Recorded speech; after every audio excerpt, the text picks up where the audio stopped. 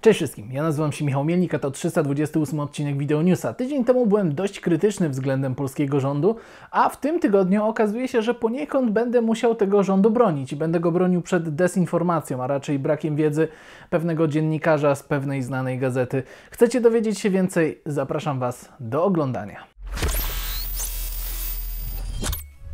Raz na jakiś czas informuję Was o postępach w rozwoju sieci 5G w Polsce, a właściwie o ich braku albo o bardzo powolnym postępie, bo przede wszystkim, by ta sieć ruszyła z kopyta, potrzebne jest zaktualizowanie ustawy o krajowym systemie cyberbezpieczeństwa.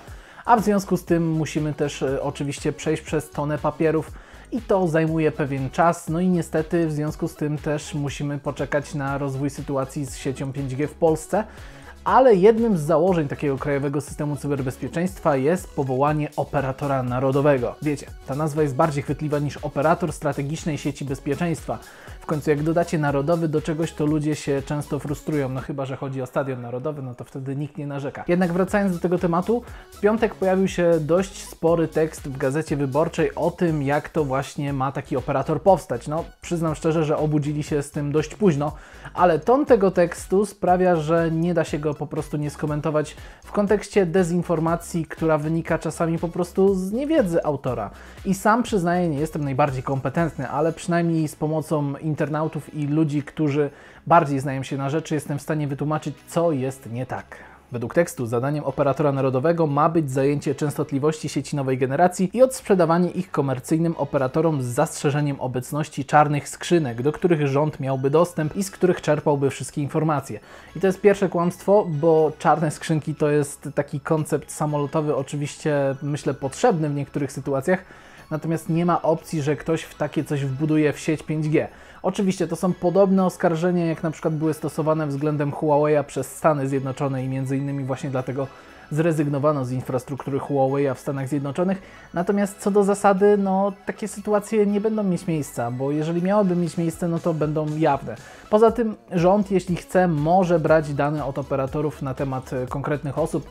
Nie bez powodu zresztą rejestrujemy karty SIM, więc e, powiedzmy, że rząd ma już swoją drogę, nie potrzebuje nowej, bardziej kontrowersyjnej. Ponadto artykuł sugeruje, że Urząd Komunikacji Elektronicznej nie odpowiada na wnioski o przedłużanie koncesji na dostęp do częstotliwości i ma to robić rzekomo po to, by wywierać presję na sieciach komórkowych. I oczywiście ta presja miałaby być ekonomiczna, ale też po prostu motywować do tego, by tę sieć nowej generacji formować według żądań polskiego rządu. I to jest naciągana teza, bo tutaj wszystko tak naprawdę, przynajmniej według Urzędu Komunikacji Elektronicznej, rozbija się o procedury prawne i o to, że pasma zostaną poszerzone, to znaczy fizycznie po prostu zostanie udostępnione więcej sieci dla tych użytkowników y, i dla tych firm, które będą chciały z nich korzystać, więc w rezultacie trzeba po prostu rozporządzić nowe przetargi i na nowo pisać wszelkie zgłoszenia właśnie o dostępność tej sieci.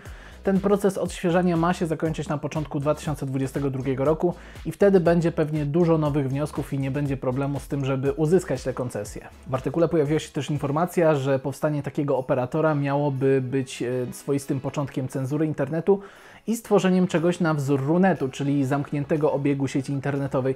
I to też nie jest prawda, bo kompetencje narodowego operatora czy spółki Polskie 5G, która powstanie, nie będą tak duże. Będą dotyczyły tylko tych częstotliwości, które będą wykorzystywane do celów administracyjnych, do celów bezpieczeństwa narodowego. Chodzi o to, by mały fragment tej sieci 5G był dostępny oczywiście przy wsparciu prywatnych inwestorów, no do tego, żeby można było po prostu z niego korzystać w ramach cyfryzacji i wszystkich usług publicznych. W zamian ci inwestorzy dostawaliby oczywiście też skrawki tych częstotliwości, na których byłoby polskie 5G, więc każdy by chyba wyszedł z tej umowy prawidłowo. Jeżeli chcecie dowiedzieć się więcej na ten temat, to myślę, że bardzo dużo artykułów, które pojawiły się w polskim internecie na ten temat jest sensownych i są one od ludzi, którzy nadążają za tym tematem. Polecam m.in. tekst ze Spiders Web Plus od Sylwii Czubkowskiej.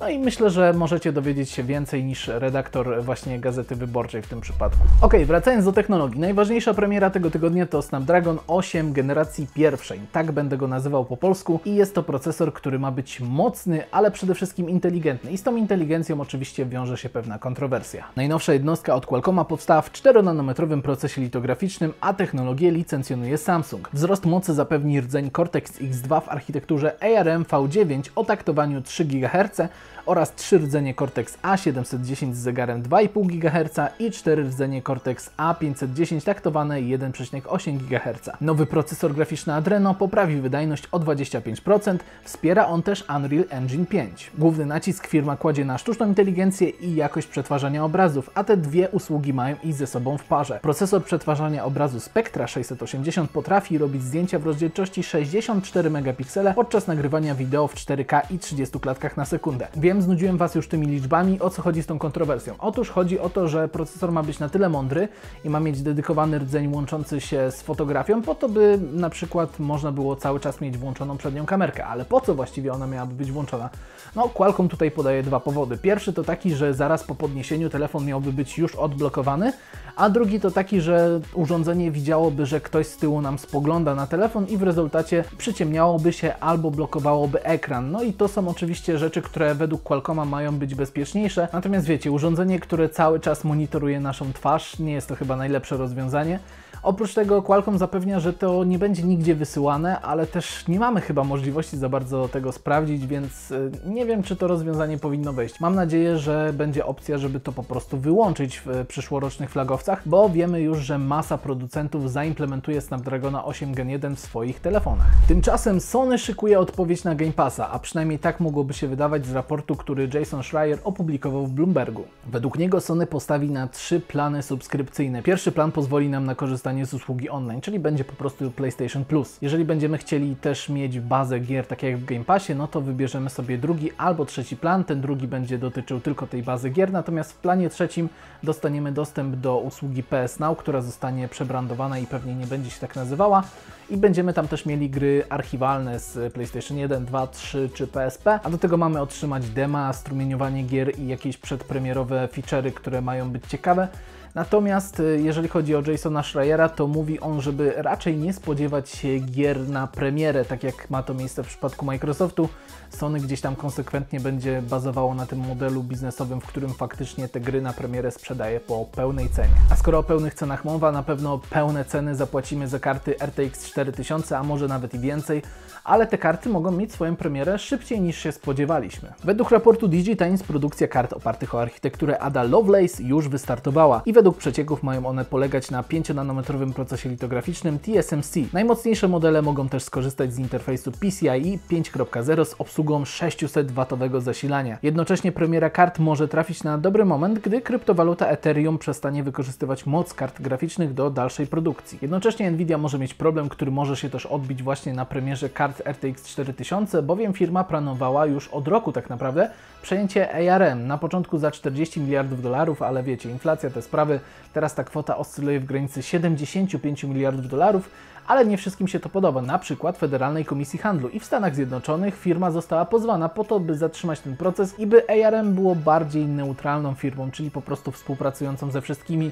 i nie będącą pod, e, nie wiem, butem czy czymkolwiek. Tak naprawdę Nvidia chciałaby ich docisnąć. A teraz coś o robotach, które wydają się być niepokojąco realistyczne, bowiem to, co zobaczyliśmy w tym tygodniu, to naprawdę coś niezwykłego. Engineer Arts zajmuje się tworzeniem humanoidalnych robotów. Ich najnowszym osiągnięciem jest Amika. Nie, nie chodzi o zmywarkę, tylko chodzi o robota z całkiem zaawansowaną mimiką, która jest oczywiście wypadkową zastosowania wielu systemów, które ten producent już od lat rozwija. Ciało robota proporcjami przypomina ludzkie, ale postawiono tu na szary odcień tak zwanej skóry oraz brak cech szczególnych, by zachować neutralność. Amika potrafi reagować ekspresyjnie na widok swoich kończyn albo osoby nagrywającej. Robot nie potrafi się jeszcze komunikować głosem, ale dzięki wgrannemu oprogramowaniu Tinman może zastąpić ruch i wypowiedzi człowieka w przyszłości. Urządzenie bazuje na rozwijanym przez lata systemie Tritium. Jeżeli chcemy Amikę już wynająć albo kupić, to możemy to zrobić za pośrednictwem strony producenta. Ja bym jednak poczekał na CS 2022, bo tam Amika się pojawi i będzie można zobaczyć, co takiego robi. Na pewno nie będzie myśl na czym. A teraz czas na sekcję krótko i na temat, w której zobaczymy Sony planujące zmienić swojego DualShocka 4 w kontroler dla urządzeń mobilnych, taki, w którym telefon układlibyśmy po środku. Jeżeli Sony faktycznie tworzy alternatywę dla Game Passa, to może mieć to całkiem sporo sensu. Nie wiem, czy tak dużo sensu ma wypuszczenie drona Airpeak S1, który w przedsprzedaży kosztuje 9000 dolarów bez kamery, bez gimbala, a ma być dronem przemysłowym właśnie do nagrywania wideo bardzo profesjonalnej jakości. Więc zobaczymy, czy Sony się to nie odbije czkawką, ale jeżeli chcecie zamówić takiego drona, no to śmiało róbcie to i powinien on pojawić się u Was jeszcze w tym roku. W tym roku nie pojawił się co prawda system Harmony OS na urządzeniach mobilnych, ale jeżeli chcemy korzystać z tego systemu, no to jest szansa, że w przyszłym roku razem z premierą wersji 3.0 ujawni się on także w Europie. Krótka przerwa na najpopularniejsze emoji świata i jest to emoji najpopularniejsze od 4 lat. Możecie zgadywać co to jest, natomiast domyślam się, że pewnie wiecie, iż chodzi o płaczącą ze śmiechu emotkę. Tymczasem Valve pokazało światu Steam Decka i etui, które będzie dołączone do konsoli. Trzeba przyznać, że to etui wygląda elegancko, pudełko już raczej tak powiedzmy oszczędnie, ekologicznie, ale niestety nie zobaczymy tego pudełka w tym miesiącu, a przecież taki był plan. Pamiętacie te czasy, kiedy na komunie najpopularniejszym prezentem były kłady? Być może jeszcze są popularne, w sumie nie wiem, nie brałem udziału w komunii, ale Tesla ma odpowiedź właśnie na takie zapotrzebowanie, bo stworzyła Cyberquada, czyli kosztującego 1900 dolarów kłada, no trzeba przyznać o całkiem sporych możliwościach. Oczywiście jak na urządzenie elektryczne, bo tutaj mamy zasięg 15 km i prędkość 16 km na godzinę, ale przede wszystkim ten futurystyczny wygląd, z którego znamy chociażby Cybertrucka. Tymczasem z rzeczy trochę zabawnych Microsoft pilnuje, abyście posiadając przeglądarkę Edge nie zainstalowali przypadkiem Chroma, przynajmniej w Stanach Zjednoczonych, gdzie pojawiają się stosowne komunikaty, mówiące o tym, że w sumie to Chrome jest jakiś taki niefajny, a Edge jest nowy i fajny, wiecie, takie trochę śmieszne, trochę luźne, korporacyjne gadanie, w sumie nie wiadomo po co. Każdy ma mózg i jak chce sobie zainstalować Chroma, to sobie go po prostu zainstaluje. Nowe technologie to nowe metody kradzieży. We Włoszech dość kreatywna para złodziei zdecydowała się, że będzie kradła prąd, a właściwie energię laptopów ze sklepów po to, by wykorzystywać ją do przetwarzania i tworzenia bitcoinów.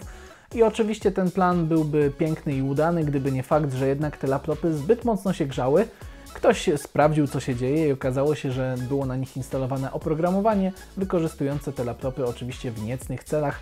Przestępcy zostali skazani, no i bitcoiny pewnie też zostały już albo upłynnione, albo stracone. Tymczasem Twitter opuszcza Jack Dorsey, czyli jeden z współzałożycieli. Myślę, że nadal będzie korzystał z Twittera, ale już nie będzie jego szefem, bo zakłada sobie własne firmy i będzie sobie tam oczywiście pracował.